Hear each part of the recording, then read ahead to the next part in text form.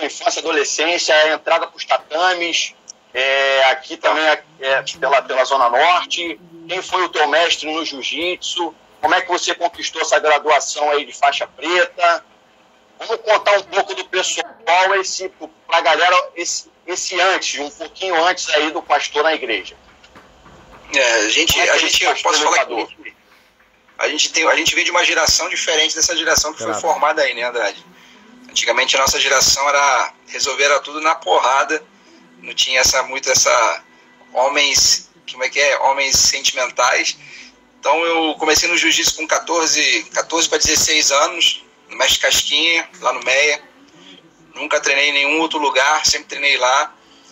E, tipo assim, é, eu me encontrei na luta onde eu aprendi a ter confiança, onde aprendi a, a resolver meus problemas como homem, né? É, vim de, um, de uma época onde tinha muita rivalidade, tinha rivalidade com a galera da luta livre, galera de outras academias, enfim. Cresci nesse meio e nesse meio, assim, eu eu me desenvolvi como homem em, em, alguns aspectos, mas deformados em outros, né?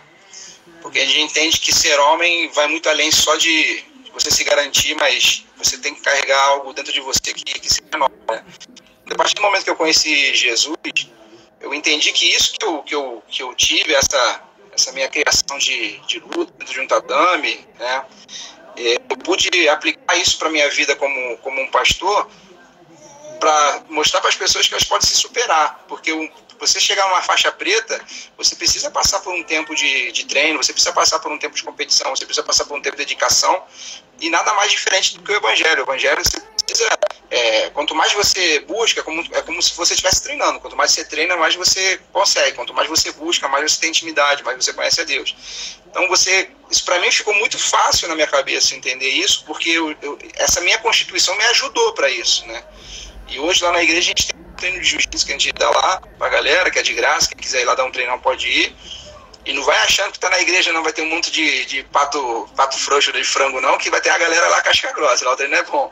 Mas assim, é, isso, passar pra galera isso aí, isso é importante, porque a galera consegue ver em você alguém que é natural, entendeu? Não é alguém que é sobrenatural. Então, alguém que superou, alguém que conquistou, alguém que avançou. Entendeu? Então, até mesmo meu mestre, o grande mestre Casquinha aí, faixa coral vermelha e branca, oitavo grau de jiu-jitsu, como, como fosse um pai para mim também. Esse cara aí, meu irmão, participou de todas as etapas da minha vida. E hoje ele fala lá na academia, ó, para mim pastor tudo é safado, menos o pastor chileno, porque eu vejo que ele é um homem sério. Então, é, isso aí para mim não tem preço, entendeu? A gente vê essa, essa forja que a, gente, que a gente passou, como ela nos ajuda no dia a dia, né? como ela nos ajuda na nossa vida entendeu? Então, minha trajetória no jiu-jitsu foi mais ou menos assim. Comecei com 14, 15 anos e nunca mais larguei. Pô, que bacana. Eu, eu aqui, a gente, a gente tava na. Essa época aí que o senhor falou da, da época das rivalidades, né? É, nós éramos rivais, porque é, eu venho também de uma tradição, de uma escola que o pessoal aí que está me acompanhando é, há pouco tempo, eu venho da escola do Muay Thai, né? E a aliança do Muay Thai com a galera da luta livre era muito forte através da Box Thai. E aqui no Rio de Janeiro, obviamente, da Box Thai e a Budokan, que era a galera da luta, da luta livre à época. E então, tipo, falar em jiu-jitsu, falar em alguma coisa nesse sentido pra gente é, ver o que a gente é, consegue perceber hoje com, com a evolução do MMA e é, todas as artes se unindo, e a gente vê os atletas buscando um pouco de cada arte dessa para poder se tornar um campeão. É, não era muito. Naquela época, para a gente, era algo difícil de, de, de projetar para o futuro, né? De ver a galera unida como está tá unida hoje. E, e, aí eu, eu, era, eu era do outro lado ali e, e tinha realmente isso aí que eu só posso confirmar o que o pastor chileno está falando. Tinha essa rivalidade entre as artes, tinha rivalidade entre academias. E graças a Deus isso daí acabou e a gente tem, tem os atletas se unindo, cada um passando o seu conhecimento, é, a sua especialidade para o outro, né? Isso é muito bacana. É. Sim. Isso aí eu tenho muitos amigos e... da luta livre, já tinha, até mesmo nessa época de rivalidade, eu tinha o pessoal da Budokan, tinha o pessoal da Mário Miglioli, tinha uma galera que que sempre troquei ideia, sempre andou junto comigo. Eu era tido aquele relações públicas, né? Fazia o papel da boa vizinhança, né? Porque fazer uma, fazer uma dia, ponte né? saudável. Mas quando a chave esquentava, esquentava mesmo, né? Pô, era, era aqui, ó, essa, essa região nossa aqui de Zona Norte, Meia, Tijuca, Grajaú, a galera não podia se encontrar que, que o pau cantava aí pela, pelas ruas do bairro, era, era terrível. É. E, e bem isso, não tinha muito espaço para sentimental, não, né? a brincadeira, a brincadeira era bem, bem divertida. Mas, graças a Deus, foi uma fase que passou e a galera hoje está junto. E, pô, um abração aí pro, toda essa galera do jiu-jitsu aí. Vamos lá, então. Paizão, e aí como é que foi isso? Então, é, é de repente, o senhor dali do tatame, é, da noitada, meio que perdido no mundo, como é que foi, de repente, que te levou né, a buscar aí a, a igreja, a buscar a palavra de Deus? Como é que foi isso aí na tua vida? E, e até chegar aí à atividade de pastor. Não, Andrade, como você falou, né? Tinha uma vida de noitada, de mulher. Nunca usei droga, não, mas tomava uma cachaça. E eu sentia sempre um vazio, né? Então tentava preencher esse meu vazio nessas coisas, né? Como toda, como eu te falei, a gente veio de uma geração que o homem tinha que pegar um montão de mulher, o homem tinha que aprender a se resolver sozinho. Então a gente acaba tendo umas fugas para a gente tentar se preencher. E por, e por incrível que pareça, quem falou de Jesus para mim foi a pessoa que menos eu imaginaria que falaria que foi a minha empregada doméstica, né?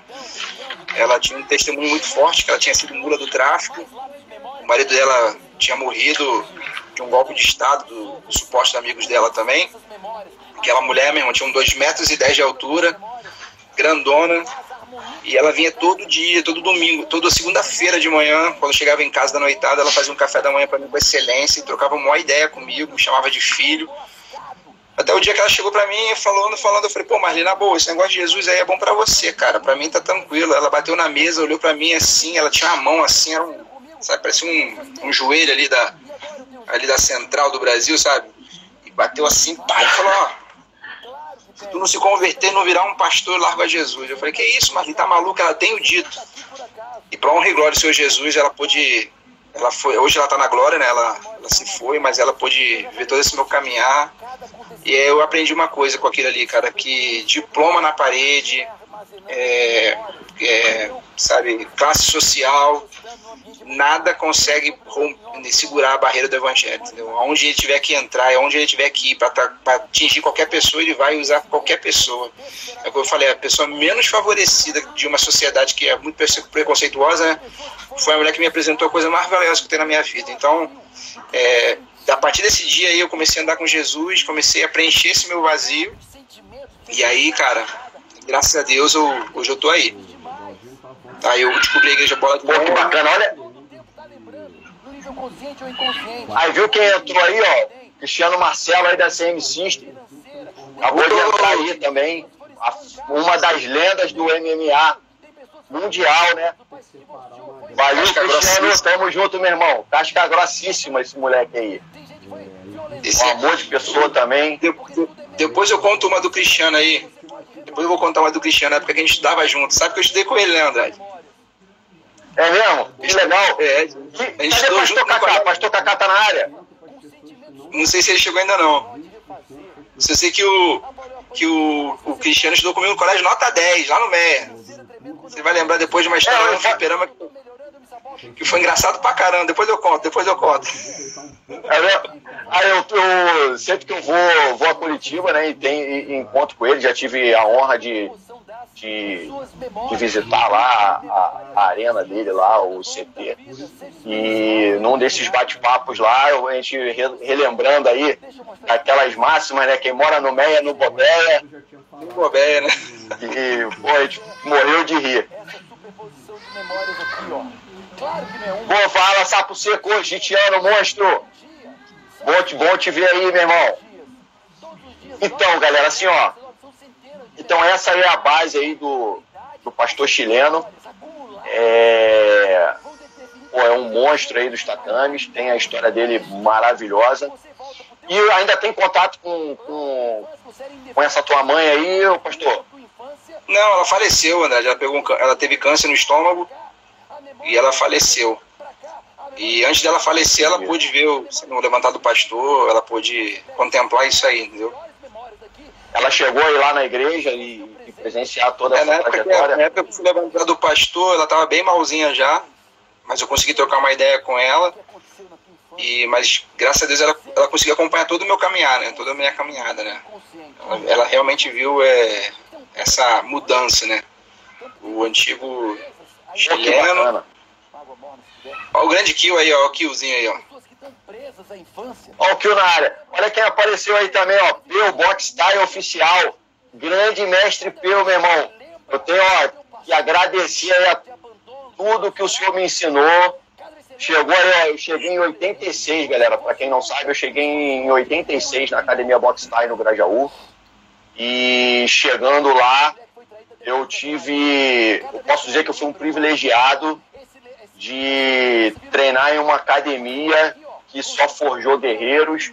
E cheguei lá e tive a honra de ter o mestre Peu como meu professor e em memória aí o mestre Luiz Alves, né? Então assim, na época o Peu dava aula praticamente terça e quinta e tinha o Luiz Alves aí puxando o treino segunda, quartas e sexta e posso dizer que ali foi assim como foi para o pastor é, ter estado ao lado aí do mestre do mestre dele. Essas pessoas, para mim, foram grandes influenciadoras no meu caráter e no homem que sou hoje, que foi quem me ensinou aí a parte da disciplina, do treino, de não desistir, de cair e levantar. Foram muitos, muitos nocautes aí que a gente, que a gente tomou ali dentro, mas forjando guerreiros. Então, assim, só tenho a agradecer, Peu. Tamo junto, meu irmão. Obrigado, mestre. Paizão, vamos para a próxima então, que até agora só tá pergunta light. Daqui a pouco vai começar a chegar as perguntas mais pesadas. Beleza? Bora. Vamos lá então. É... Pastor, deixa eu dar aqui, ó. Qual a relação com os fiéis e como é passar essa experiência para a galera na igreja, que eu vejo que o culto e a forma como o senhor conduz os trabalhos dentro da Bola de Neve Zona Norte é, é um pouco diferente né, da forma que eu, que eu já. que às vezes eu escuto falar de outras, de outras é, é, unidades ou de outras igrejas, enfim. E que você conduz ali meio que com mão de ferro, trazendo essa disciplina, sem muito mimimi, sem medir muito as palavras. Então, assim, quando o senhor tem que chegar e dar um conselho, você vai lá e, e faz isso quando tem que chegar e, puxar a orelha, não tem muita celeuma, chega lá e puxa a orelha com vontade. E a gente acaba vendo que, que o público da nossa igreja é um público é, casca grossa, até porque aquele que não banca acaba pedindo para sair, né? Não tem jeito, toca o sino e acaba metendo o pé.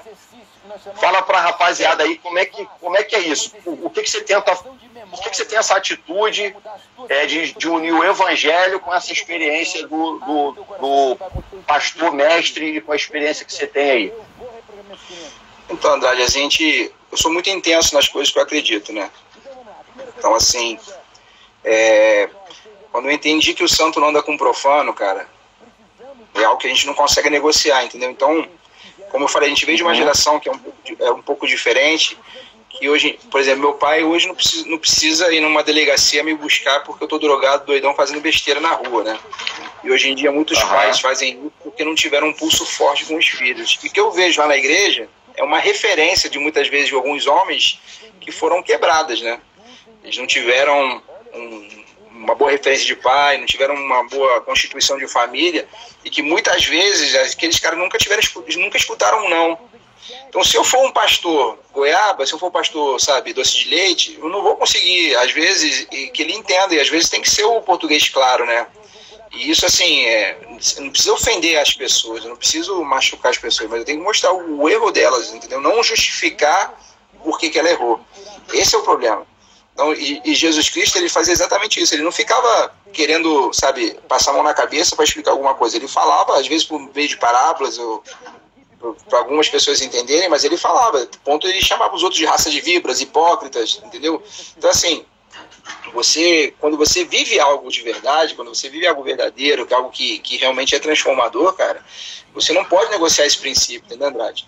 É, como, eu falo, como eu falo assim, o, o, pastor ele tem um chamado porque ele foi chamado para não negociar princípios, entendeu? E a partir do momento que eu estou ali cuidando de vidas, eu não posso negociar princípios nenhum. O que é certo é certo, o que é errado é que é errado e amém. E como você falou, se não gostar, não concordar, irmão, PT saudações, é isso aí. Cada um segue aquilo que acredita. Entendeu? Então, assim, por isso que eu vejo que chega tantos ditadores na igreja, por isso que eu vejo que chega tantos policiais, militares, a, a, além de ser aquele chamado que Deus colocou especificamente, mas eu vejo que essa galera se identifica porque entende esse tipo de conversa, entende, essa parada. Tá cansado? Mais 30%, vamos embora. Não, não vai desistir, vamos para cima. Não, pô, não tô conseguindo, deixa ele se ser frango, meu irmão, tu vai ter que conseguir, vai, você vai conseguir passar teu limite, vamos embora. É esse tipo de, de, de, conversa que a gente consegue ter com a galera e a galera entende. Não tô falando só de homem, só de homem não, mulher também. A mulher também entende, porque você conhece a pastora, a pastora é mais brava do que eu, né? A pastora é pitbull. Então, assim, esse princípio de você não negociar aquilo que é, que é, que é santo, aquilo que é que é puro, cara, te faz, meu irmão, é, inserir nessa galera esses valores que não, não vão conseguir ser quebrados, entendeu? Então, assim, a luta te ajuda nisso. É, assim, é, os princípios que a gente aprende. Eu, eu venho de uma é, excelente escola, então aprendi a princípios de respeito, de hierarquia, de ordem. Então, isso, para você colocar na igreja, isso é fácil, porque o reino ele tem hierarquia, tem respeito, tem ordem, tudo, tudo funciona como um, um quartel realmente, entendeu? Pô, que bacana. É, o senhor falou sobre valores, né? Galera, eu tô aqui, ó, às vezes eu abaixo a cabeça, todo mundo já me conhece, sabe também que eu sou bem direto e, e comigo não tem muita muita furufufu, não. É, é meio que, acho que é por isso que eu me dei bem com, com, com, o pastor chileno e é um cara que eu respeito muito hoje, então é, não tem muito isso. Então não tem muito teatro, não. Então eu abaixo a cabeça aqui, escrevo uma coisa que chamou a atenção, uma pergunta que algum colega está fazendo aí, eu estou anotando aqui para depois a gente dar sequência. E assim, pastor, pra, vou passar para essa galera rapidinho que eu confesso que eu estou um pouco aqui até meio que é, perdido para fazer essa live, porque estar tá diante do senhor assim é uma coisa que, que tem que. É, a gente fica meio nervoso, né? Fica meio tenso. Mas vamos lá, pessoal. Por que motivo o Andrade acabou buscando aí a igreja?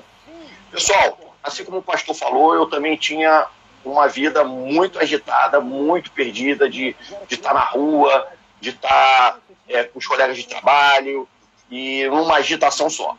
Beleza? É, o amigo também nunca foi de droga, de muita bebida, também nunca curti isso, até porque, como eu venho do meio do esporte, não combinava muito isso daí com o meu perfil, até porque minha disciplina ela vem desde moleque. Qualquer dia disso, qualquer dia eu vou estar falando sobre isso. A nossa cobrança na academia era muito grande para quem treinava. Então, nossos mestres lá não permitiam esse tipo de conduta. Então, eu já venho com isso desde pequeno.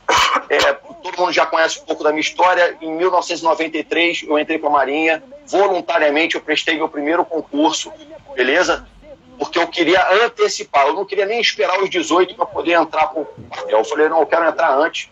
Então, tamanha era a minha disciplina já desde garoto. Mas, dentro dessas fases, eu pude conhecer algumas pessoas. Grande Carudo! Aí Valdevir, Lira, é, chegando aí, uma galera presente, meu irmão, só tenho a agradecer a todos vocês aí. Beleza? Tamo junto, rapaziada. Aí somos. Então, paizão, o que que acontece? Eu comecei a perceber que alguns dos meus amigos mais próximos, que eram totalmente loucaços, os caras não tinham disciplina, é, é, se perdiam até em determinados tipos de ocorrência de trabalho, eram super agressivos, não conseguia aceitar ordens e disciplina. O, o, era totalmente a galera, apesar de ter um coração muito bom, era uma galera, era pitbull, na, tinha que estar na coleira, porque senão os caras eram terríveis. E, e aí eu comecei a perceber, alguns amigos mais próximos, que os caras, por alguma razão, eles foram e aceitaram Jesus. E eu, eu nota, not, tipo assim, um período em que eu estava até como líder da, de uma das minhas maiores referências, que é o Grupamento de Intervenção Tática do Rio de Janeiro, é, e algumas outras unidades, assim como o CISPEM, uma galera lá do sistema, que os caras são feras, galera do SOI, onde eu tive oportunidade de vir também na trajetória da base. Eu comecei a perceber essa galera que era totalmente louca, mas de bom coração. Mas eu, quando esses caras aceitaram Jesus, eu comecei a ver uma mudança drástica de comportamento. Eu comecei a ver esses camaradas darem valor, e a palavra na essência, valor mesmo. E aí eu comecei a ver que o cara se tornou um cidadão melhor, com suas obrigações, é, é, direitos e deveres. Eu comecei a ver que esse camarada, ele começou é, é, aceitar mais a, a, a, as ordens emanadas pelas autoridades constituídas que vinham para essas pessoas. É, é, comecei a perceber o cara um melhor pai, um melhor filho, a vida do cara é, é, prosperando de uma maneira incrível.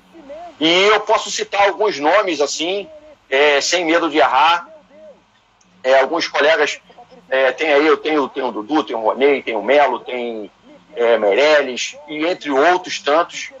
E eu comecei a olhar para esses caras e falar assim, eu falei, meu irmão, esses caras estão começando a, a, me trazer uma verdade. Aí eu falei assim, comecei a olhar e falar, a vida do cara tá melhorando, o cara tá melhorando, o cara tá se dedicando agora a esporte, o cara tá nisso, tá naquilo, aquilo outro. Aí eu comecei a receber convites, é, convites, muitos deles feitos pelo Melo, e assim, vamos na igreja, vamos lá conhecer o meu pastor, vamos lá, vamos chegar, como é que é isso, vamos lá. E eu sempre relutava, né?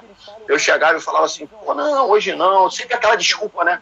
Ah, hoje não dá, hoje eu não vou, hoje eu estou cansado, hoje isso, hoje aquilo. E até que teve a oportunidade é, de ter te conhecido e, e chegar na igreja e, e, me identificar muito. E aí eu vi que, que o Bola de Neve Zona Norte era uma igreja que, que, que trazia o símbolo do, da bandeira do Brasil, é, era, que falava do Rio de Janeiro, que chegava e, e, e trazia valores e princípios para os fiéis que, é, é, da igreja, é, quase que uma educação cívica, né? Como é que é isso? Esses valores, esses princípios. E vem um sentimento. Tanta. Ih, caiu aqui, pessoal. Calma aí, deu uma travada. Espera aí que vai voltar. A crença é feita pela memória. É, meu irmão, é isso aí. Não adianta correr. Peraí que o pastor vai chamar, vai me chamar de novo. Ó, chamou aqui, peraí. Meu filho vai esquecer. Meu filho de 4 anos vai esquecer esses dias, quando ele tinha 4 anos, que eu parava para olhar nos olhos dele. Ele vai esquecer. Eu Vamos lá que ele tá voltando. Vem com esse bar não, hein, pirata? Sai daí, monstro. Voltei, voltei. Tá, tá anotado aqui, Caduzão. Calma aí. Conseguiu chegar aí as perguntas, Pazão? Não. Conseguiu entender? Como, como, é que você traz esses símbolos da bandeira do Brasil, da polícia? É, daqui a pouco você vai contar a história de como chegou a polícia para ti.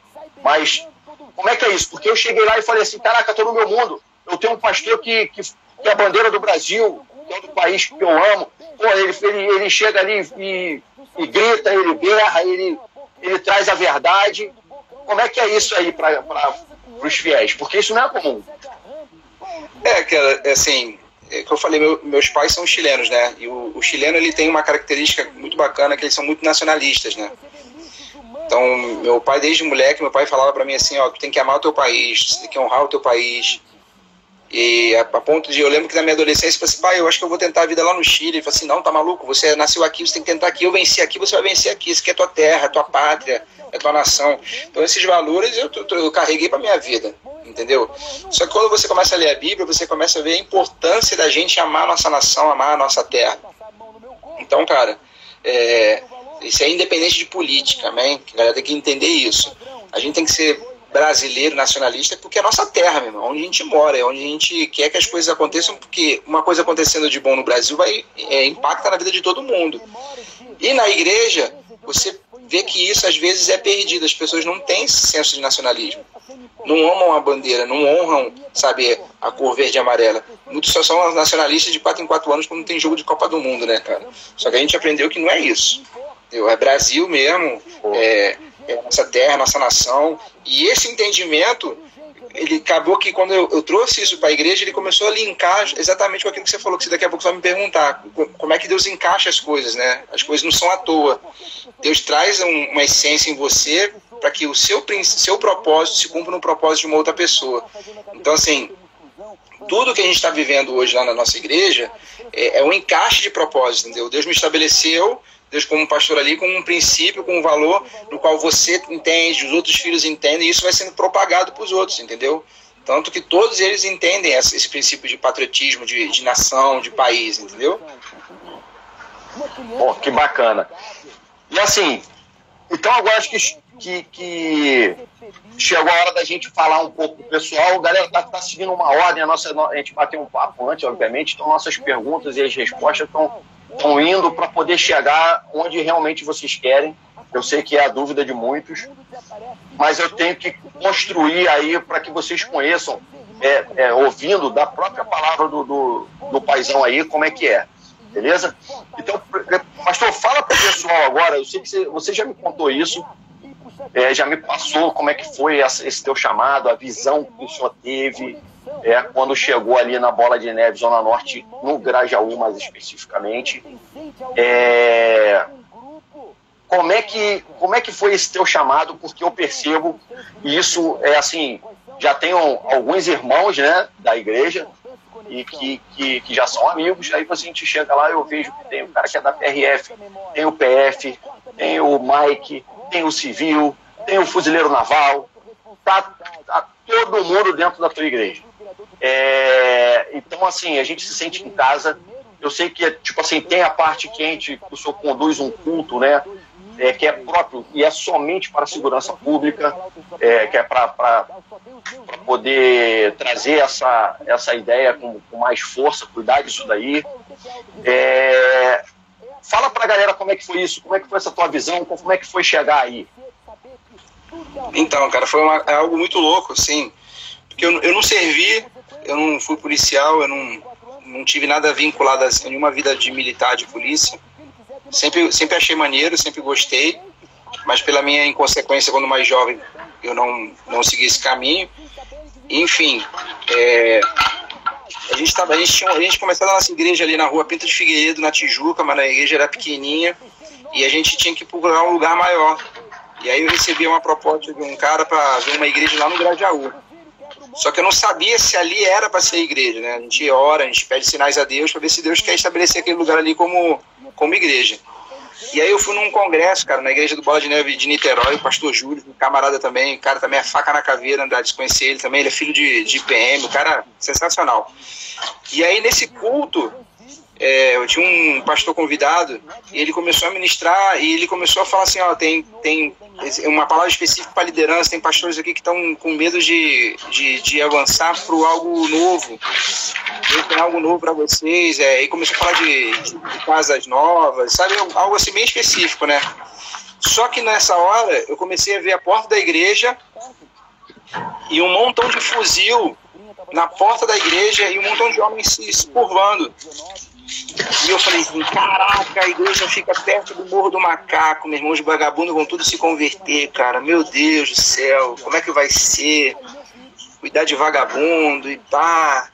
E amém. Se, eu, se esse é o meu chamado, vou abraçar porque eu não estou aqui para dizer o que eu quero, mas é assim que o senhor quer. Só que o que acontecia? Num, a igreja abriu, a igreja começou a rolar os cultos, ela falando, e só chegava a polícia, cara. Eu falei, caraca, mano. Aí chegou lá, o, sei lá, tem o, o nosso irmão GG, o sargento GG lá do, do Recon, e foi chegar aí, tem o nosso presbítero lá, o Fábio, que é capitão do Cruzeiro Naval, e foi chegando o marinheiro, e foi chegando o militar, e, e chegou lá o, o Melo, que era do JIT, aí me chega você, aí vai chegando uma galera assim, um dia eu orando assim, Deus me responde, cara, é muito contraditório, a gente tá do lado do morro, e só chega a polícia, cara. Mas você não me deu a visão, aí ele falou para mim assim, de forma audível, né, cara, você independente se você acreditar ou não, mas eu, eu acredito nas minhas loucuras com Deus, né? Ele falou assim, mas quem foi que te disse que era vagabundo? Você tem que cuidar deles, que ninguém está cuidando deles. E foi aí que Deus começou a me mostrar, de fato, que eu tinha que cuidar das poli dos policiais, entendeu? Então tem a Marisa, que é policial civil, tem o Paulinho, tem muito policial na igreja. Eu entendi isso. E Deus me ministrou exatamente isso. Tenho que cuidar dessa galera que ninguém cuida.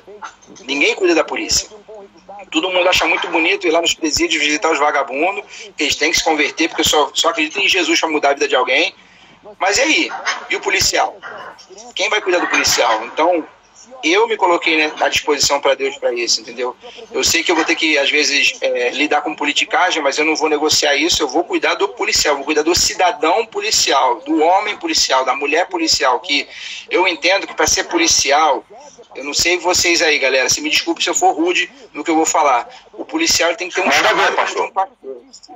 Se você é um policial concurseiro, você não entende o que, que é um chamado, entendeu? Então eu, te, eu entendo que o policial tem que ser como um pastor, tem que ser um chamado, cara.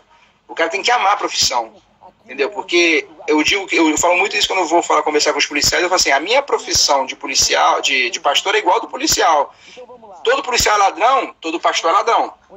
Se morrer um, poli, um policial, a, a, a, sociedade não tá nem aí, mas se morrer um pastor, também ninguém tá nem aí. Então a gente tá junto no mesmo barco. Entendeu? Então eu entendi essa missão.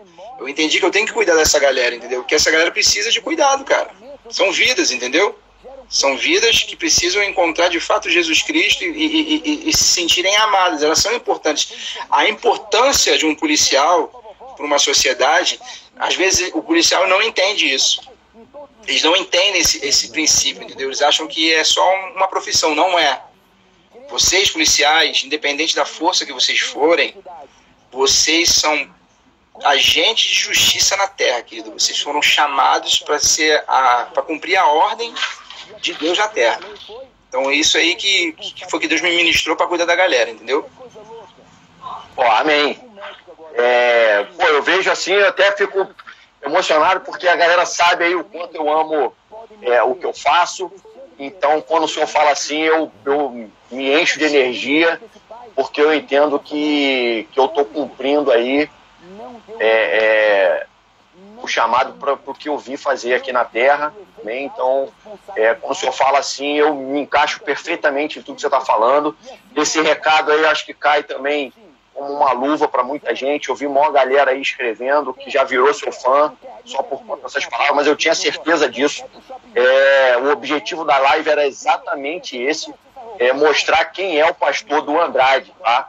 quem é o pastor que cuida do Andrade, que também não é fácil cuidar do amigo aqui não, viu? Então, assim, eu falei, pô, eu tenho que mostrar é, para essa galera, porque o pessoal tem me perguntado muito isso. Beleza? Então, assim, pô, acabou de dar uma aula aí gigante para todo mundo que tá Falcão sempre aí, sempre, meu irmão. Então, assim, para todo mundo aí que tá, tá assistindo a gente. Beleza? É, dentro desse contexto, né, o senhor acabou de falar que, que os policiais eles exercem é, é, uma função que é uma autoridade constituída por Deus na Terra. É, pelo lado bíblico, é, que o senhor deu a ideia, né? Mas pelo lado bíblico, como é que funciona isso? Como é que é, é, é para o policial? Porque assim, a gente vê que, que, era até a, a, a próxima a próxima pergunta, é, em alguns cursos, às vezes no próprio trabalho, no próprio serviço, já teve um colega também que já colocou essa pergunta aí. É, a, a, pessoa me pergunta, Andrade, pô, mas uma, vou, vou, bem, bem específico. Eu já tive um, um, um colega no treinamento, um aluno, ele chegou e falou assim: Poxa, Andrade, não sabe o alívio que você está me dando em falar que agora você é cristão. Eu falei, pô, mas pô, porque isso ele deixou para falar depois que o curso acabou. E aí ele chegou para mim e falou assim, pô, cara, eu, eu, eu sou cristão, não falei nada e ando armado. Mas é, eu sinto que na minha igreja, a condução dos trabalhos, da forma como eu sou orientado, eu sou orientado a não andar armado. Porque se eu andar armado, eu posso ter que reagir, eu posso ter que me envolver em um conflito armado de repente por essa razão, é, obviamente que no estado de legítima defesa, é, por essa razão eu tenho que me defender, não acabar tirando a vida de outro ser humano. E isso é contra os princípios de Deus. Então, assim, então me falam que eu não devo andar armado. Né? E alguns colegas também, como já teve a pergunta, como é que é, é, é, como é que é a mão de Deus sobre esse trabalho da polícia, quando o camarada às vezes cumprindo o seu dever, né, ele se envolve num auto de resistência e por legítima defesa dele ou da sua equipe, ele acaba é, é, reagindo a uma ameaça e tira a vida desse marginal. É, pelo foco bíblico realmente de Deus, o que o senhor tem para falar para essa galera em relação a isso, o pessoal que tem essa, essa angústia aí? Então, Andrade, o, primeiramente o evangelho hoje em dia não é o evangelho dentro de uma caixinha que era antigamente, tá? Antigamente, se for ver a história das igrejas tradicionais, eu não condeno, porque a igreja tradicional ela foi necessária para que o pecado não entrasse na igreja. Tá? Mas, por exemplo, é, nunca se ouviu falar de um pastor que era lutador e hoje nós temos milhares de pastores que são lutadores. Eu vim de, eu sou já uma segunda, terceira geração de pastores que, que, que lutam. Existia um preconceito, né? É, agora, assim, para as pessoas entenderem a raiz disso tudo, é porque nos mandamentos fala que não, nós não devemos matar. É que não matarás, né? Só que na verdade a, a palavra do original, do hebraico, não é matar, é assassinar não assassinarás, que Deus fala. Só que se você está cumprindo o teu trabalho como policial, tá? E você está num confronto com, com, com um vagabundo, ele é alvejado, querido. Meu irmão, quem anda com Deus, amém. Quem anda com capeta, meu irmão, vai sentar no colo dele. A parada é essa. E qual é o respaldo bíblico? Pô, pastor, mas que isso? Mas Deus não é amor? Querido? Deus é amor, mas não se esqueça que o mesmo Deus que derramou, que se chamou Cordeiro, que veio tirar o pecado do mundo, é o mesmo Cordeiro que está em Apocalipse, que fala que ele virá com o juízo. Então, se você for ver, por exemplo, lá em Romanos, se eu não me engano, capítulo 13, deixa eu abrir aqui rapidinho para ler para a galera. Para a gente não perder muito tempo. Que é uma explicação simples mas ao mesmo tempo ela é muito profunda e objetiva. Que, que diz assim, ó, o começo do texto ele diz assim, a respeito à lei e às autoridades. Então, beleza. Todos devem sujeitar-se a autoridades superiores, portanto, não há autoridade que não venha de Deus, e as que existem foram ordenadas por ele. Ou seja, Deus não é um Deus de anarquia, ele é um Deus de governo. Ele é um Deus que ele estabelece ordenança. Beleza. Portanto, quem se recusa a submeter-se à autoridade está colocando contra quem Deus instituiu aquele que assim proceder trazer, trazem condenação para si mesmo. Então, não é uma vítima da sociedade. O cara quis isso, aí já é índole, não é, não é uma escolha, é índole. O cara escolheu ser vagabundo. Não é porque não teve opção dele, não. Porque se a gente for fazer uma enquete aqui na, na, no grupo, quem já passou dificuldade quando era mais jovem, muitas pessoas aqui vão passar, e tem pessoas aqui que inclusive moram em comunidade, que são policiais, enfim. E aí, continuando, ele fala assim, porque os, que os governantes não podem ser motivo de temor para aqueles que praticam bem. Se eu sou um cidadão de bem, não tenho que ter medo da polícia. Eu tenho que passar por um policial e dar boa noite para ele, abençoar ele, meu irmão, que Deus te abençoe, obrigado por que você faz pela sociedade.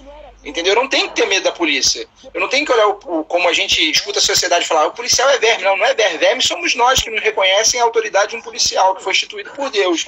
E continuando, não podem ter motivo de temer os que praticam o bem, mas aqueles que fazem, mas para os que fazem o mal, não querem se sentir ameaçados pela autoridade, faze o bem e ela o honrará, pois ela serve a Deus para o teu bem, mas se fizeres o mal, teme, pois não é sem razão que traz a espada, meu irmão. Não está falando de Bíblia aqui, não, tá? A espada também é conhecida como Bíblia, mas ele está falando da espada de justiça, a espada que fura, que corta, que condena, que, que, que traz lesão. E ele fala assim: é serva de Deus, agente de justiça para punir quem pratica o mal. Acabou, meu irmão. É simples.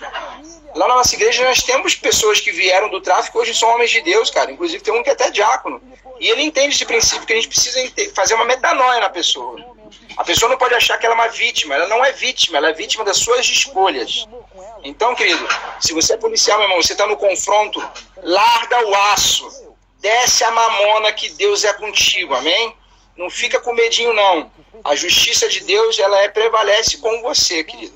Então, você é um respaldo bíblico. Você pode andar armado, você tem que proteger, é, proteger a sociedade. É a mesma coisa que um pastor não falar sobre pecado.